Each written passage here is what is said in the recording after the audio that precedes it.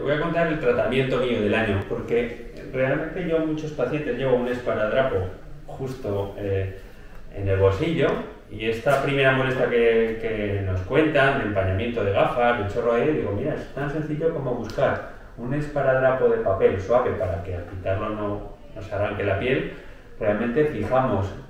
un poco esa, esa rendija para que no salga el aire y hace que haya mucho menos ventilación a nivel ocular o se empañen menos las gafas. Por último, eh, diría que también el tener un desinfectante a nivel de la piel ocular hace que controlemos eh, mejor los gérmenes de la zona, ¿eh? o sea, desinfectar o limpiar un poco la parte periocular o incluso la parte posterior de la mascarilla, cuando en un momento determinado probamos la mascarilla, hace que haya menos gérmenes